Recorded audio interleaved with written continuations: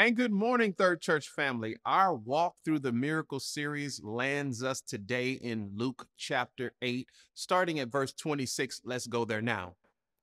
They sailed to the region of the Gerasenes, which is across the lake from Galilee. When Jesus stepped ashore, he was met by a demon possessed man from the town. For a long time, this man had not worn clothes or lived in a house, but had lived in the tomb. When he saw Jesus, he cried out and fell at his feet, shouting at the top of his voice, What do you want with me, Jesus, Son of the Most High God? I beg you, don't torture me. For Jesus had commanded the evil spirit to come out of the man. Many times it had seized him and though he was chained hand and foot, kept under guard, he had broken his chains and had been driven by the demons into solitary places. Jesus asked him, What is your name? Legion, he replied, because many demons had gone into him. And they begged him repeatedly not to order them to go into the abyss. A large herd of pigs was feeding there on the hillside.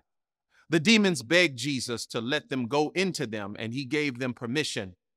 When the demons came out of the man, they went into the pigs, and the herd rushed down the steep bank into the lake and was drowned.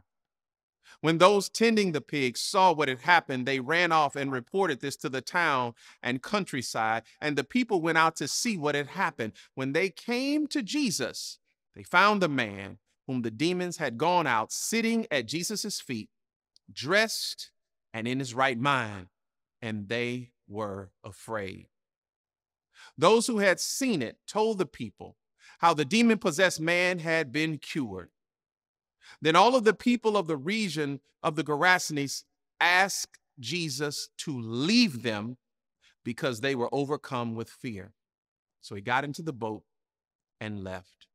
The man from whom the demons had gone out begged to go with him, but Jesus sent him away, saying, Return home and tell how much God has done for you. So the man went away, told all over town how much Jesus had done for him. May God add a blessing to the hearer, reader, and doer of his holy word. And I want to use for a subject in our time this morning demon oppressed. Demon oppressed. We are a country who boast of our freedom.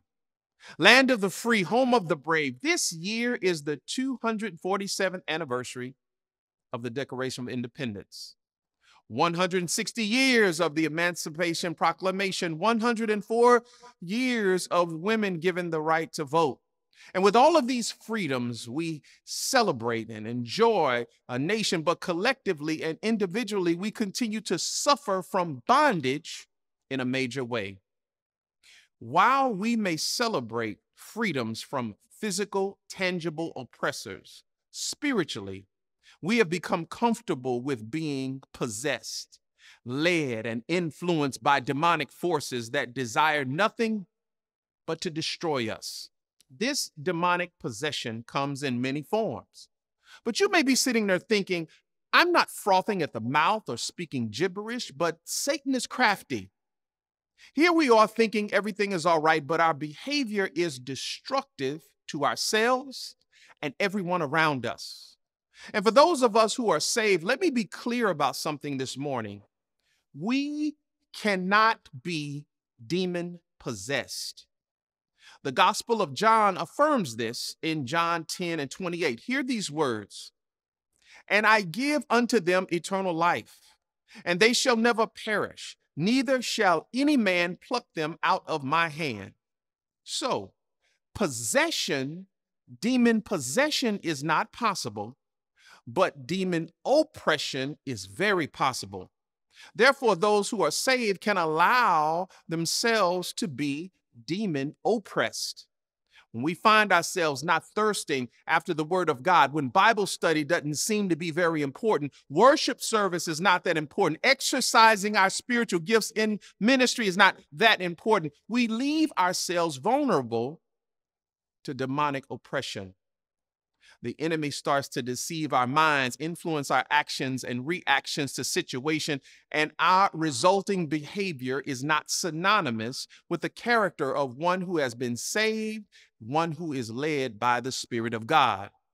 It seems so bizarre to me that this summer, many will spend thousands of dollars on fireworks and food and cookouts and on and on to declare a freedom when many are shackled, possessed, oppressed by a being far worse than any physical slave master.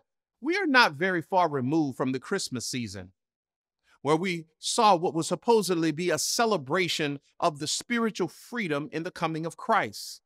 But many celebrated by becoming financially enslaved by amassing toys and gifts that we couldn't afford and now trying to figure out how to pay for them while living less than check to check in their life in the name of Jesus. See, in a few months, we're going to celebrate the 4th of July, Independence Day. And some of the most financially strapped people, the brokest people, they're going to buy the most fireworks, have the biggest barbecues. And let me get this straight you don't have enough money for food, clothes, kids' clothes are too small, ragged, bills are behind, cutoff and collection notices coming like junk mail, no life insurance at all. But somehow we managed to get fireworks aplenty and enough meat to cook all day to celebrate what? An eviction notice? Our insatiable desires have caused many of us to be financially demon possessed. John 8 and 36. If the Son, therefore, shall make you free, you shall be free indeed. If we've not called on Jesus to free us, we're not free at all. If and only if we have declared Jesus as Lord and Savior of our lives and now live for His will and not our own, are we spiritually free, physically free, financially free, and the list goes on. And if you've received this freedom in Christ, that's the freedom that's worthy of a celebration, worthy of presents, of fireworks, worthy of a cookout. In our account today, I wonder what it must have been like for this man named Legion. I imagine a young man growing up in the region of the Sea of Galilee, a fine young man, perhaps at one time a respectable citizen. Was he married? Did he have children? I wonder what circumstances led him to be running around naked, half naked at best, if someone had pity on him and tried to dress him, as he roamed through the housing districts, people must have avoided him at all costs, not daring to take a risk of maybe housing him for a night. So he lived out by the water in the tombs among the dead. For fear of their safety and perhaps for his own good, people had tried to chain the man up, putting shackles on his hands and wrists, but he just kept breaking them, displaying a superhuman strength. Mark's gospel tells us that he lived a miserable life out here in the mountains, separated from everyone by his madness. And he even hated himself. If you were to walk in those hills, you would have heard him crying out through the day and through the night. He would howl and cut himself with sharp stones from the caves. The Bible plainly tells us that this man was plagued by a mob of demons that went into this man named Legion. In the Roman armies, a legion of soldiers numbered about 5,000 men.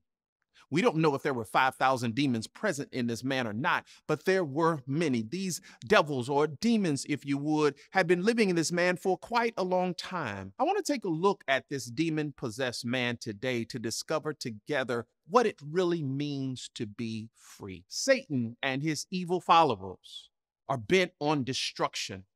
And every life they inhabit or oppress is chosen for that express purpose to destroy that life and keep it from being able to follow Christ. What do you think about freedom? What do you know about freedom? Have you come to a point in your life where you say, I am ready to be free? Are you tired of dead end, wrong directions, destruction of yourself and others around you? Are you ready this morning to be free? When Jesus walked into this man's life, he saw something in him that proved his readiness to be free from demonic spirits, something that cried out for deliverance, and Jesus delivered him. So many people today who have never received Christ are possessed with evil spirits. And until they come to the place in their life where they choose to come to the one who can set them free, they will continue to be plagued by these demons of Satan. Freedom only comes when we choose to come to Christ for our freedom. Many say they are ready for freedom, but the statement is superficial because they're still too in love with darkness. Jesus said in John chapter 3, verse 19, This is the verdict. Light has come into the world, but men loved darkness instead of light because their deeds were evil. Everyone who does evil hates the light and will not come into the light for fear that his deeds will be exposed. But whoever lives by the truth comes into the light so that it may be seen plainly that what he has done has been done through God. You see, if we are ready to be free, we, like the man at the pool of Bethesda, need to pick up our mat and walk and make no provision to return to that place. If and only if we're ready to be free, then our request for freedom cannot be qualified. Many say that they want to be free, but I still love to get drunk on a regular basis. Many say I want to be free, but I still want my actions to be dictated by this drug I love so much. Many say, I want to be free, but I, I need to play this last lottery number straight and boxed. Many say, I want to be free, but that buffet is calling my name and I have to answer, I'll wait and be free tomorrow. Many say that I want to be free, but what they did to me, I'll never get over it. And I'm going to hold on to this grudge, this hurt, this pain. Many say, I want to be free, but we say, all right, go ahead and come over. This is the last time. For real, for real. This is going to be the last time. Some of us listening today remember the long running sitcom, The Andy Griffith Show. In it, there was a town drunk, and his name was Otis. And despite several attempts to sober him up, he just wouldn't do it. And he had a jail cell reserved for him on seemingly a nightly basis where Otis would get drunk, then he would come to the jail, he would grab the key, let himself into the cell, lock the door, put the key back on the hook, and sleep it off. And I thought about that action as I wrote this sermon. Are we this morning like Otis? Just accepted sin as a way of life, and Satan does not even have to try anymore with us. So we just go into the pain prison, the food prison, the drug prison, the sex prison. We get the key, get in the bed reserved for us, lock ourselves up, and hang the key back up. Something to think about this morning. Is my present reality imprisoned? Is my present reality imprisoned? Now, some may argue that this man called Legion had it made. He could do what he want, when he wanted it, where he wanted it, the way he wanted it. He had no one telling him what to do, what to wear, where to live, how to live, or anything else. He lived life with no restraints. Something that so many people today claim that they want. But that's not a love of freedom. That's a love of self and a desire to be our own God. Church, there is no freedom in sin. One of the greatest obstacles to freedom most people will ever face is their own love of darkness they have chose to dwell. But if we are ever going to be free, truly free, the way we can be free is to step out of the darkness into the light of Christ. There was an occasion in Jesus' ministry where he was speaking to the Pharisees and he says to them this if you continue in my word, then you are really my disciples, and you shall know the truth, and the truth shall make you free. And when the Pharisees heard what Jesus says, they started to get upset with him and said this We are descendants of Abraham. We will never be in bondage to any man. And Jesus would go on to tell them that they were, in fact, in bondage, and nothing they could do on their own would be able to set them free. And this is where many live in this country find themselves. We look at the Declaration of Independence, we look at the Emancipation Proclamation, and the same way the Pharisees looked at the fact that they were descendants of Abraham, and just like Jesus told them, he is speaking to us today. I don't care who your ancestors are, what side of the tracks you grew up on or moved away from, there is not a march on Washington, a firework display, a cookout, a parade big enough to set us free from demonic possession or oppression. In Paul's second letter to the Corinthian church, he said this Where the Spirit of the Lord is, there is liberty. You could take the opposite of that statement, and it will still be true. Where the Spirit of the Lord is not, there is bondage. If we don't have the Spirit of the Lord in our home, bondage. If we don't have the Spirit of the Lord in our marriage, bondage. In our church, bondage. If we don't have the Spirit of the Lord in us, we are in bondage. Jesus came to be the light of the world. And he says, My followers shall not walk in darkness, but shall have the light of life. John says, In him was life, and the life was the light of men. Church, we can find freedom like nothing we've ever experienced before. Mark this down. What you think you control will ultimately control you. We can't flirt around in the dark and expect to shine with the glory of God. So back to our account. And seeing Jesus, the leader of the two cried out and fell down before him in fear and said in a loud voice, What do I have to do with you, Jesus, Son of the Most High God? Here, the demons answer the question the disciples ask in verse 25 Who then is this that he commands even the winds and the water, and they obey him.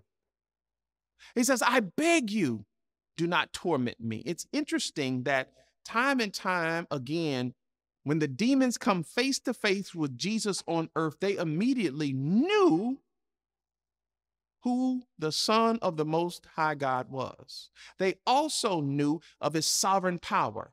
They made their victims bow down thus acknowledging Jesus' deity and manifesting fear of his power. The Pharisees, on the other hand, and many of the people did not really understand who Jesus was, what he was doing, and why he had come to the earth at all.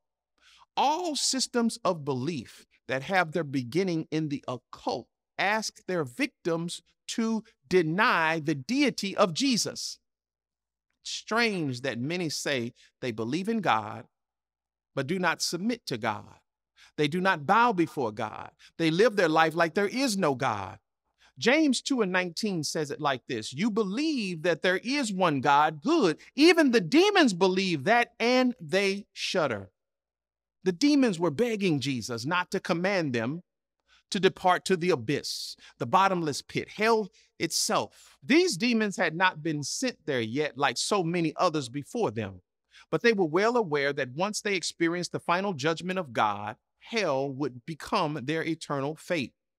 For the time being, they were given a limited freedom to carry out Satan's wishes on earth by being allowed to house and express their evil spiritual nature in and through a human being. Now that habitation was being threatened by the Son of God. So rather than be cast out of man and sent to hell, they saw a herd of pigs feeding on the mountainside, and the demons begged Jesus to permit them to enter into the pigs. And he gave them that permission. And the demons came out of the man and entered into the swine, and the herd rushed down the steep bank and into the lake and were drowned. From Mark's account, about 2,000 pigs were killed. Jesus did not tell the demons to drown the pigs, rather, he gave them permission to possess them. Once the demons went into the pigs, however, the animals panicked and drowned. See, the issue here was not the 2,000 dead pigs, but the redemption of the demonic man and the confirmation to the disciples that Jesus not only had power over nature, but over the evil one and all of his demons. The death of the herd of pigs was a living demonstration of the death that would have eventually come to this possessed man had Jesus not healed him. Here's another point worth consideration all of the town's conditioning, all their chains and shackles couldn't do for this man what Jesus had done with just the power of his spoken word. This should speak volumes to us about the counsel we seek from our demonic possession or oppression. Many seek ungodly counsel and find themselves no better off because the person they are receiving advice or counsel from is just as possessed or oppressed as they are. Many, meaning well, only give you more chains and more shackles with their advice. You ever talk to someone about your situation? And after the discussion, you feel unchanged, but more chained. Stop getting marital advice from people who aren't saved. I don't care if they've been married for 50 years. If they're not saved, then their witness is not credible. They may be able to tell you how to manage marriage, but they cannot tell you how to receive the fruit God intended from marriage. Don't make the person your life coach or mentor and they just know one or two more Bible scriptures than you do. They may be able to tell you how to manage life, but they cannot tell you how to live life more abundantly according to God. Stop getting financial advice from people who still owe you money. And they're trying to figure out how to get from under a couple of payday loans themselves. That doesn't really need any explanation, and we can move on receive from this account that the only thing that can free you is the word of God. So at this point in our account, there's good news, there's bad news. The herdsmen were in deep trouble because they were responsible to the owner for the well being of this large herd of pigs. These men ran and told all the city, all the countryside, the good news that a man named Jesus had arrived on the beach, cast out the demons out of legions so that the people didn't have to fear him anymore. The bad news was that the demons ran into the herd of pigs, and before they knew it, the pigs ran off the steep bank into the lake and were drowned. Wasn't their fault, they said, but the fault of the demons and this man named Jesus. The whole countryside then ran to the beach to see what had happened, and what did they find? They found Legion and Jesus by the sea. And this former demonic sitting at Jesus' feet, calm, fully clothed, in his right mind, this healing had affected him physically, emotionally, intellectually, and spiritually. Instead of being dead in his sins and living in the tombs, he has been risen by the power of Christ into a newness of life. Instead of being naked, he's fully clothed. Instead of being violent, he was calm and joyful. Instead of being insane, now he sits in his right mind. Instead of being destructively possessed by Satan, he is now possessed by the Son of the Most High.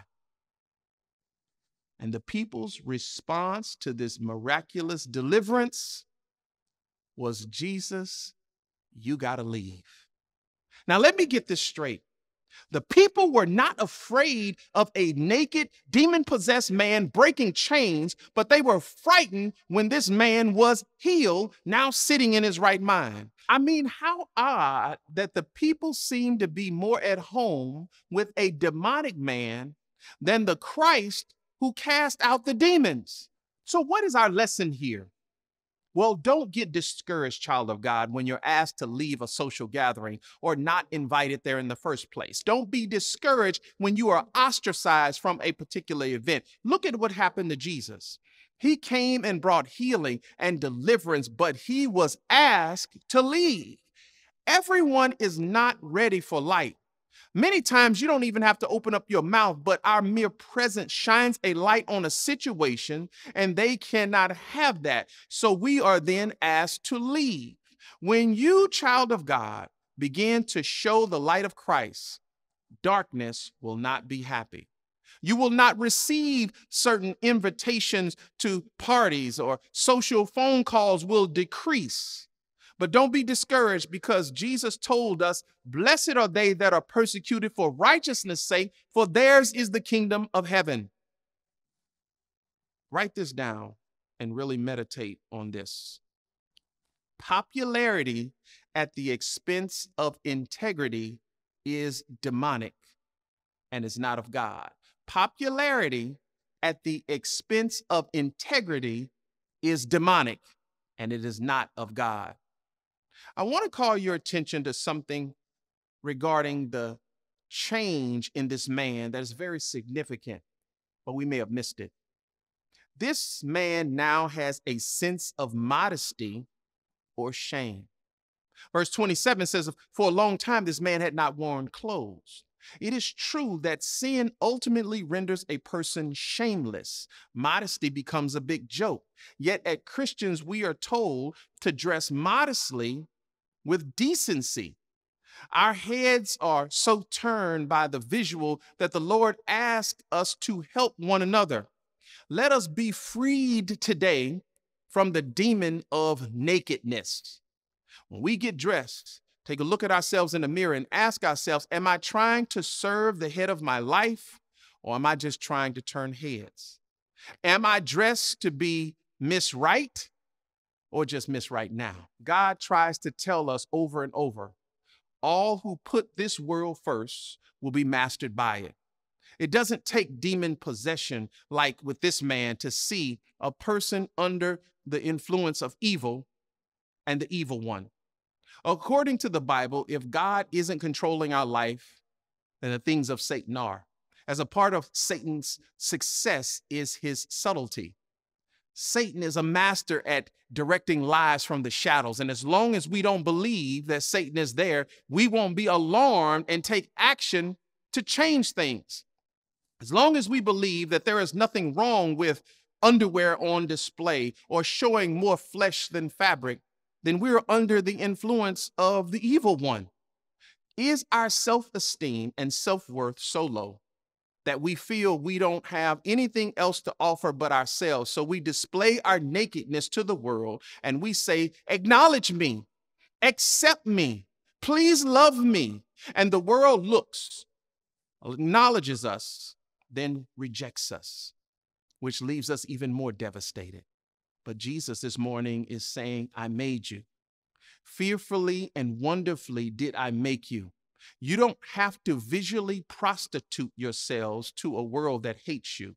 I love you and I want to build you up and break the chains that enslave you. The world never wanted you, does not deserve you, but I want you to come home where you belong. Jesus is saying, Don't deny me. Don't ask me to leave. Notice the contrast between the crowd and this man. The crowd wanted Jesus to get out of town. Why? Hadn't they just been visited by the Son of God? Hadn't they just witnessed the miracle of incredible power? Hadn't they just seen a man delivered from the bondage of demon possession? And yet they asked Jesus to go away. One of the saddest verses in the Bible is the last verse, verse 37. So he got in the boat and he left. Jesus didn't then and won't today force himself where he's not wanted. So he didn't beg, he didn't plead, he just left. You know, maybe the request had some connection with the pigs. Could it be that they were more focused on the possible loss of income from their property than the potential blessing that comes from God that was staring them directly in the face? You may say, well, that, that would be crazy, right? But don't people do the same thing today?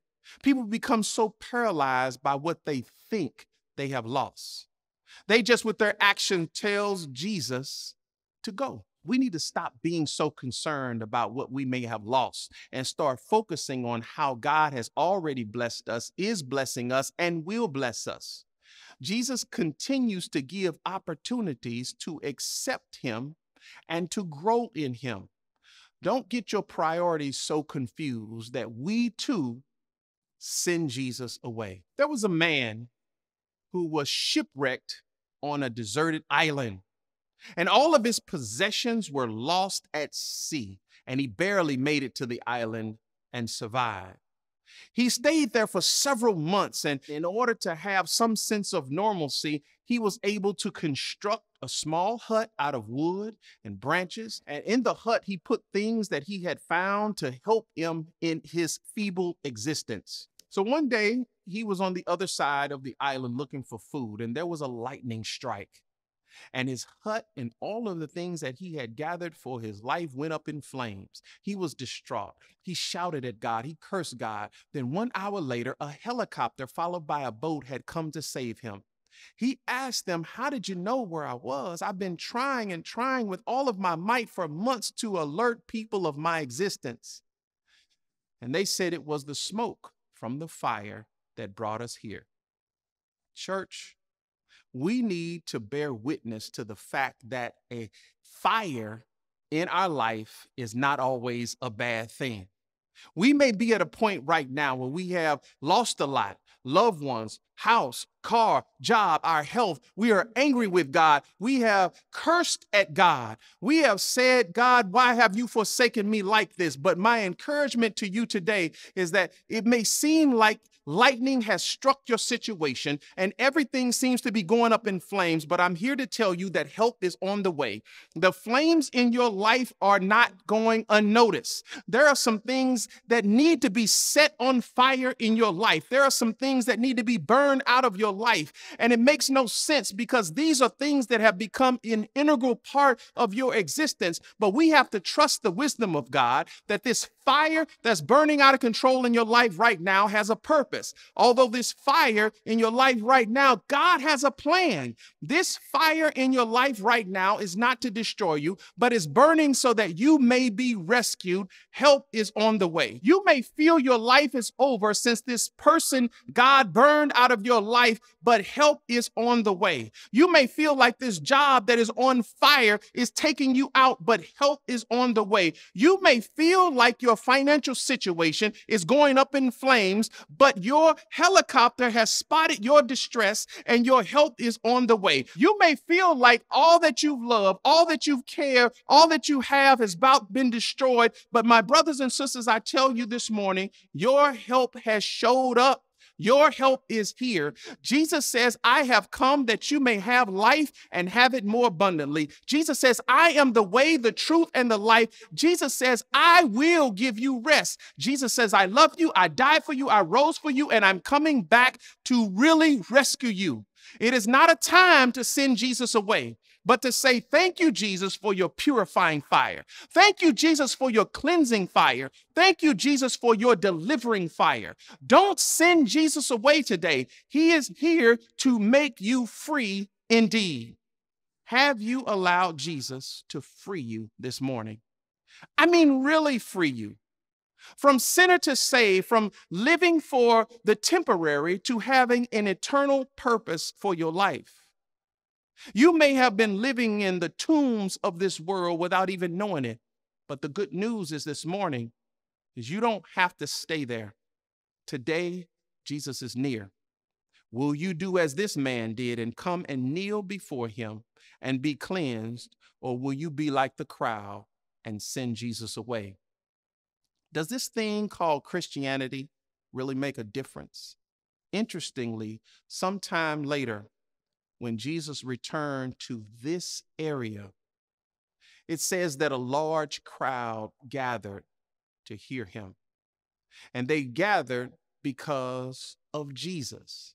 But I had to wonder if this crowd had gathered because of the deliverance of this man named Legion and his testimony about what Jesus had done for him that I am a living witness of what is possible when Jesus sets you free. Amen. And bless God this morning. I want to thank you for tuning in today. And I pray that you have a great day of family, friends, and fellowship. I look to see you next week when we discuss Peter walking on the water. God bless you and God keep you today.